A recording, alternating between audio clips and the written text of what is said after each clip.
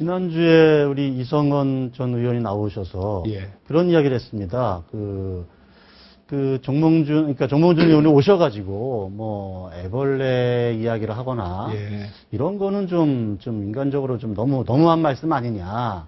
이런 말씀도 하시고 뭔가 좀 약간 좀, 어, 서운하, 서운하다 이런 취지의 말씀을 하셨는데 어떻게 보세요? 그, 사실 애벌레. 가가지고 애벌레라는 예. 거에 대해서 좀 뭐 저도 그 이성원 의원이 말한 걸 봤습니다. 아, 저희, 저희 애벌레라는- 프로에서 하- 네네, 하는 거 보셨어요? 다 예, 봤습니다. 예, 예, 예. 이성원 의원이 그 애벌레라는 뭐 벌레 네. 이런 거에 집착을 해서 그런지는 몰라도 정몽준 후보의 그 말씀의 취지는 화려한 나비, 정말 훌륭한 정치인으로 드- 나기 위해서는 네. 참 많은 과정이 있다 하는 걸 지적하면서 앞으로 훌륭한 정치인이 되길 바란다는 그런 그런 것을 좀 바램을 얘기한 건데 그 아. 애벌레란 벌레 이거에만 너무 나, 나비의 방점이 있었는데 그렇습니다. 애벌레의 저, 저걸 본 것 같다. 네네. 네. 화려한 나비가 되기 위해서는 참 어려운 과정이 있는데 네. 그 과정을 잘 거치셔서 훌륭한 정치인이 됐으면 좋겠다는 그런 취지의 말씀이었던 것으로 본인도 그렇게 얘기하고 저희들도 그렇게 이야기하는데 너무 그 김항식 후보 측에서 네. 뭐 시비를 거는 건 아니겠지만 너무 그거에 지금 집착하고 계신 것 같아요. 아니 근데 이제 듣는 사람 입장에서는 뭐 화려한 나비는 나중 일이고 네. 지금은 애벌레라는 말 아니냐 이렇게 들릴 수도 있잖아요. 뭐 그런 점에 근데 이제 뭐 나비 화려한 나비가 되려면 어려운 과정을 거쳐야 한다 이런 네. 점을 지적한 것으로 좀 이해해 주시기 바랍니다. 뭐 아, 그 자리에 가서 지금은 네. 저 사무실 여는 날 가서 뭐 그분을 그냥 공개적으로 폄하하고 그럴 리가 있겠습니까? 그 바- 정신 나간 사람이 네. 아닐 바에야. 또 그런 말씀을 또 하셨어요. 라디오 연설에서 정몽준 의원께서 네. 그 타이슨 핵주먹 타이슨 말씀을 하시면서 네. 반칙 반칙 귀를 깨문 깨문 그런 반칙을 해서 그 권투에서 쫓겨났다 이런 네. 반칙을 하는 사람들은 뭐 용서하면 안 된다 이런 취지의 말씀을 하셨는데 그거는 누가 봐도 정, 저 김황식 총리 측을 전 총리 측을 측 총리를 겨냥한 발언으로 다 언론이 해석했거든요. 어, 그거는 뭐, 그렇다고 봐야죠. 왜냐하면, 음. 그 지금, 저, 김항식 저 전 총리 후보가 칩거 중, 칩거를 했지 않습니까? 며칠 동안? 그렇죠 사흘 동안. 예. 네. 그 사이에 그런데 그 밑에 있는 참모들, 네. 보좌진들은 계속해서 흑색 선전을 했습니다. 뭐 무슨 이해운 후보하고 뭐 빅, 빅딜설 음모설이 네. 있느니 현대중공업이 뭐 정몽준 후보의 시장 당선을 돕기 위해서 뭐 광고비를, 광고를, 예. 광고비를 뭐 100억이라고 그랬나요? 네. 이렇게 지출하는 등 금권 선거를 한다.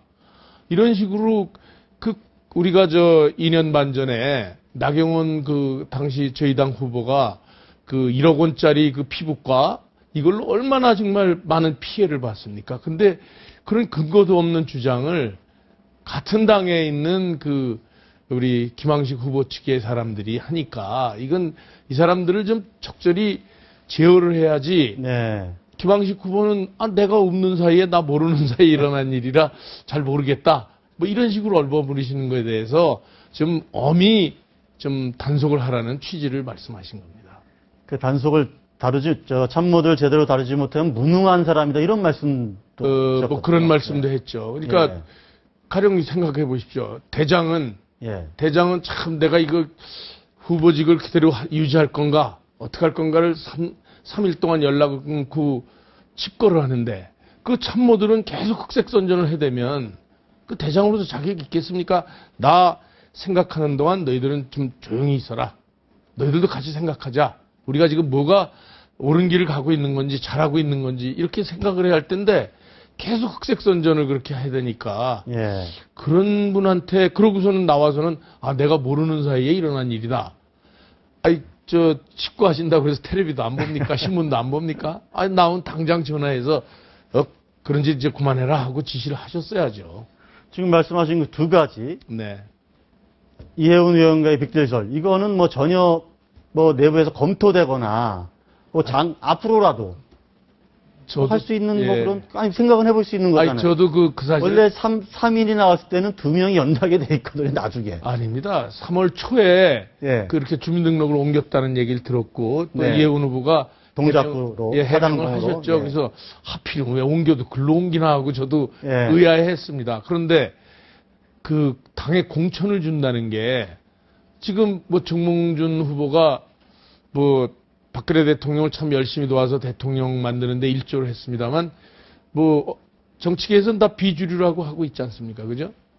그럼 저분이 서울시장이 된다 한들 동작구에 공천을 주냐 안 주냐를 어떻게 결정할 권한이 있겠습니까? 그렇지 않습니까? 그건 뭐 당에서 결정할 일이고 정몽준 후보가 시장이 됐으니까 나 내 지역구를 누굴 줘라 이렇게 할, 수- 한다고 그게 뭐 영향력이 있겠습니까? 아니 공적 영향은 없어도 예. 사적 영향은 있죠. 그래도 내 내가 맡고 있었던 그 저 지역구니까 여기는 뭐 의사는 전달할 수 있지 않습니까? 뭐 전달은 할 수 있겠지만 그게 정몽준 후보는 그렇게 예. 속으로 뭐 뒤로 제가 저 뭐 학교 때부터 쭉 알아온 사람이지만 앞뒤가 다르게 말하는 거 아주 싫어하는 사람입니다. 절대 네. 그런 일은 없을 거예요.